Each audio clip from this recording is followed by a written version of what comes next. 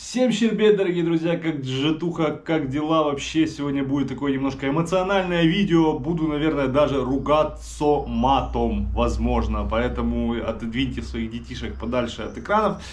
В общем, друзья, у меня просто так полыхает, честно вам скажу. Моя пятая точка находится где-то уже, она покинула околоземную орбиту и была замечена на полпути к Марсу. Но давайте по порядку.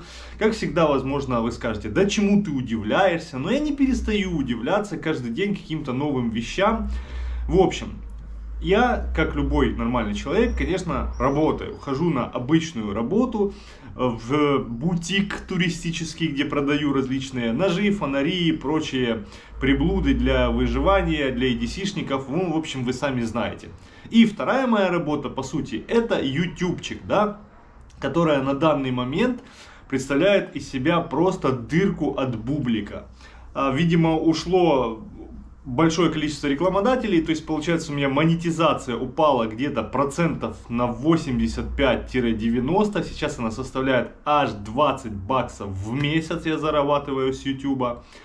Плюс перестали присылать различные ножики, фонарики. Ну, там практически кое-что, и то редко, но вы сами по ленте видео можете понимать, что в основном часы, часы, часы, часы, и там когда-то редко раз в месяц какой-то фонарик. Вот все, максимум.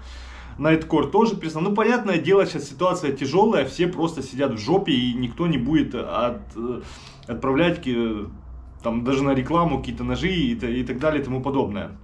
В общем, по сути, ребят, да, вот ты тратишь много времени, а, даже объясню. Нет, я не буду в этом видео просить каких-то денег, поддержите, иначе я закрою канал, подпишитесь туда-сюда. Я это все уже себе как-нибудь в своей башке уже переварю. Если я там канал свой закрою или что-то, вы об этом, конечно, просто узнаете вот так вот, все, по факту, и на этом все закончится.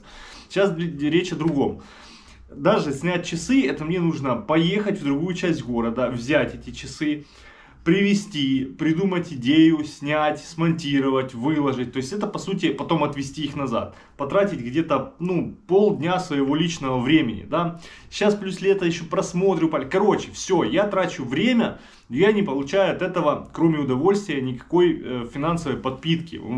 Кто говорит, что, ну, чувак, тебе что-то приносит удовольствие. Ну, вот представьте, э, удовольствие может приносить, ну, если я там с друзьями пошел там пивасика попить, да, или где-то там, возможно, на рыбал. Вот это ваше удовольствие. А когда у вас это уже удовольствие, которое поставлено на какой-то вот э, заработок, это совсем другое, ребят. В холостую работать никто не хочет. Короче, к чему я это все рассказываю? К тому, что финансовая ситуация сейчас, ну, у меня, по крайней мере, она э, достаточно такая щекотливая, да. Я вам сейчас, я холодильник свой покажу, посмотрите, вот это вот, да, у меня получается, вот так вот он примерно выглядит. Короче, скупаю, покупаю вчера помидорчики в маркете такой, стою, выбираю, подходит маленькая девочка и говорит, что, мол, дяденька, помогите, пожалуйста, там, чем можете. Я говорю, ничем не могу помочь. Ну, хоть покушать купите. Я так перестаю выбирать помидоры, на нее смотрю, говорю, что тебе покушать купить? Она говорит, ну хотя бы сосисок. Сука, хотя бы сосисок, хотя бы сосисок. Ребят, у меня сосиски сейчас, да ни хера не частый гость на самом деле. Вы что там, блин, охренели совсем уже? В параллельной какой-то реальности живете. Вы думаете, тут шикуют все? Если я нормально одет, хожу в супермаркете, помидоры покупаю, значит я, сука, тебе сосиски должен купить или что? Если бы она попросила, может быть, хлебушек, я ей пошел бы купил эту булочку без вопросов. Но, сука, сосиски ей купить. Я покупаю паштет. Паштет, вот этот хреновый, печенковый паштет, который называется сейчас. И ем его, блин. А ей, сука, подавай сосиски. Я стою на курилке, такой возмущаюсь весь, полыхаю, другу это рассказываю. Он говорит, так а что ты возмущаешься? У меня тоже он был случай, подходит бомж, говорит, купи мне что-то пожрать. Я говорю, что тебе купить? Я говорю, хотя, хотя бы шаурму. Сука, хотя бы шаурму, блин.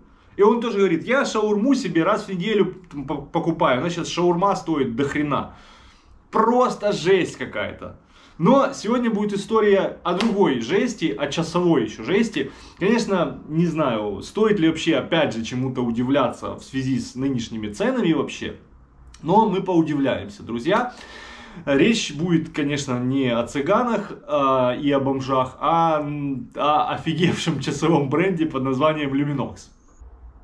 Я это видео записываю вот без шпаргалки, у меня нет сейчас под рукой там какого-то там блокнотика, что-то, где я могу выписывать, поэтому, может быть, буду путаться в каких-то там цифрах, ценах, вы уж прям сильно не обессудьте, с общего смысла это не поменяет.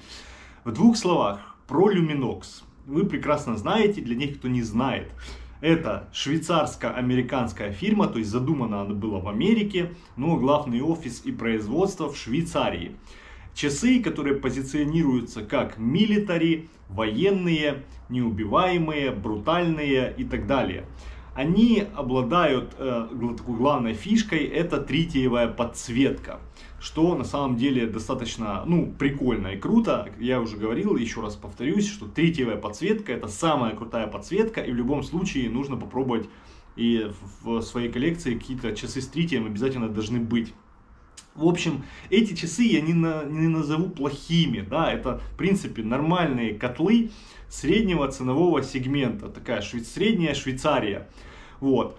А, однако у меня есть к ним ряд э, вопросов к этому часовому, ну, к этому часовому бренду, которые я уже озвучивал ранее. Потому что это, в принципе, марка без истории, которая была там придумана в 81 или 83 году которая в принципе использует, как и многие швейцарские бренды, э, дешевые механизмы а-ля Ronda 515, ну это в начальном ценовом сегменте, то, что у них там подороже уже может быть и с механикой, ну там цены прям, прям совсем, ну то есть как бы Э, ну, в общем, ребят, марка часов как бы неплохая, Military, да, но она не уникальная. Есть прямой конкурент Tracer, который тоже выпускает такие же по дизайну часы с такими же тритиевыми колбами, еще является как бы основным суббрендом вот этой вот корпорации, которая выпускает эти тритиевые колбы, корпорации Microtech.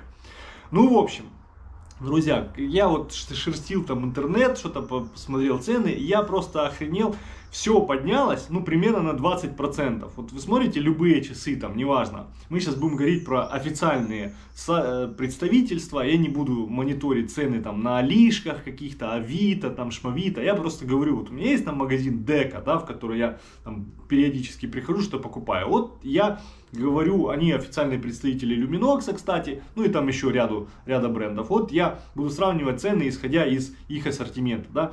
И я смотрю там сайт, все поднялось там, Жак Леманы, Tissot, Атлантики, все, Casio выросло примерно на 20%. То есть часы, которые стоили там, ну, к примеру, Атлантик, э, он там стоил 7 с половиной где-то, а сейчас он стоит там 9 с копейками тысяч гривен.